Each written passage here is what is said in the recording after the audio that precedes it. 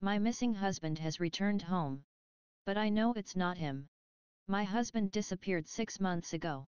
I just went to work one day and never came home. This event shocked all the neighbors, because something like this had never happened in our quiet suburb, surrounded by white lace fences. The police began an investigation, a neighborhood watch went around the neighborhood, but no one found a single clue that could clarify what happened to him. Our families struggled in vain with grief.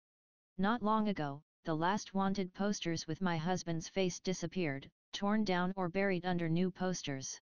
The police contacted me less and less, and gradually the calls faded away. I accepted the new reality. No matter how difficult it was, I accepted that my Rick would never come back. And then he came back. Last week I was watering the petunias behind the house when I heard the garden gate creaking open. Instinctively she turned her head, it was him. Exactly the same as on the day of the disappearance. The wind ruffled the same blonde hair, the same bright blue eyes sparkled, the same lips curved in a smile. In shock, I froze. We mourned him for so long, but still he was here. He stood in the garden as if he had gone for a moment to get milk. I asked him where he had been. He did not know. I couldn't remember anything about the last six months. Everyone was overjoyed, friends, our families. We could hardly believe our eyes. But not me. Look, I know this will sound crazy. Our families will never believe me, and I myself will never go to the police unless I suddenly want to spend the rest of my days in a straitjacket. But I just know that the man sleeping in my bed is not my husband. I do not know what to do. I understand in my mind that I should be happy, but I'm not. I am terrified. In fact, I know little about the supernatural, paranormal, I don't even watch horror films, but this situation gives me goosebumps. Just listen, I'll explain why I'm so sure. And perhaps one of you will believe me and tell me what to do now. The morning after Rick returned, I made him a cup of tea. He accepted it, giving me the most radiant smile. And then he took a piece of sugar from the sugar bowl and threw it into the mug. From the moment he returned, our house was mired in a whirlpool of feverish chaos, I was still in shock and did not attach any importance to it at the time. But the episode itself stuck in my head. This may sound like nonsense, but my husband never drank tea with sugar.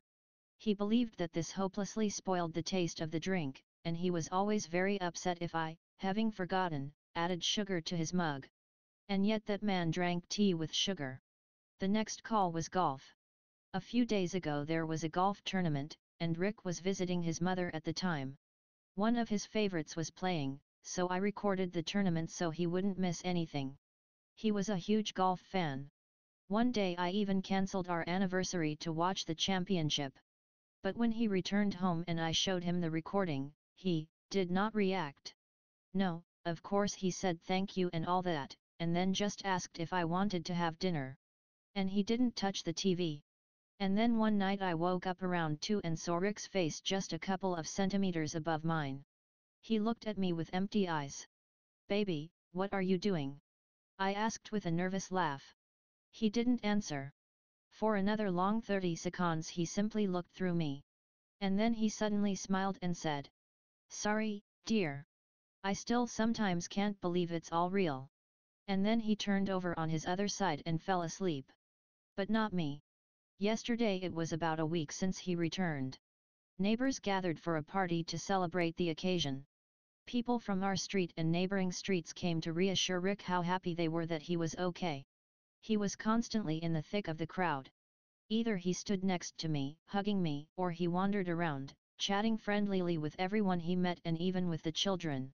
Jackson, the little son of Sally, our neighbor, wanted to play hide and seek, and Rick happily went with him. And I'll tell you what. He would never do anything like that. My husband claimed that he did not like children.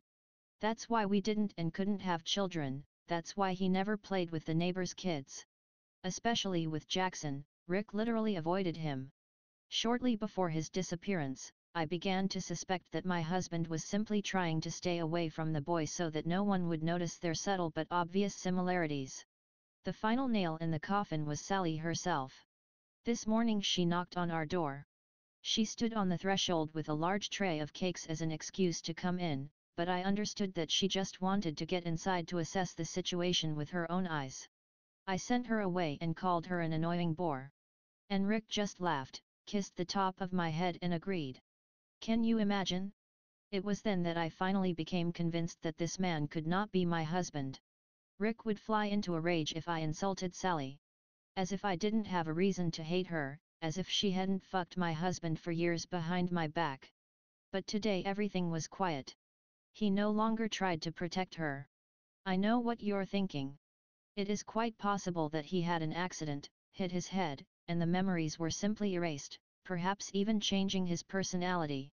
And this is a very good, logical explanation, I don't argue.